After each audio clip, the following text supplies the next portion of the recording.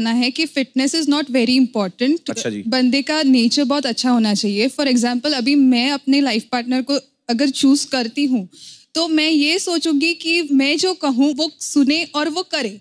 और वो मुझे... तो हर लड़की चाहती है। अरे कहना क्या चाहते हो? कहाँ है आप?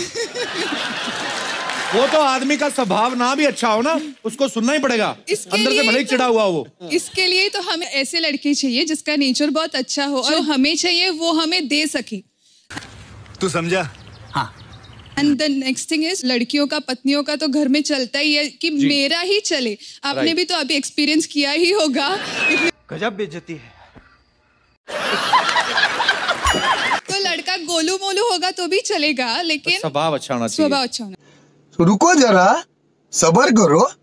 कपिल सर करना चाहते हैं? हाँ सर जैसा मैडम ने कहा जी। कि नेचर इम्पोर्टेंट है और बॉडी इम्पोर्टेंट नहीं है। ये सब सब शो के लिए ही है। इसके बाहर जाके सब चेंज हो जाएगा। चार साल से इंजीनियरिंग की है ट्राई कर रहा हूँ एक लड़की नहीं बटी। चल झूठा। की बात कह दी सब आपने।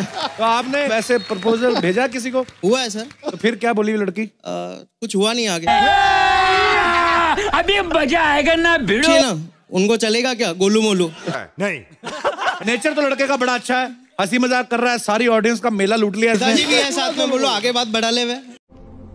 कौन है ये लोग? कहाँ से आते हैं तो बहुत चालू है बहुत फास्ट है आप। प्लीज़ भी कुछ कहना चाहते हैं। इतना भी गोलम मोलू नहीं कहा था मैंने।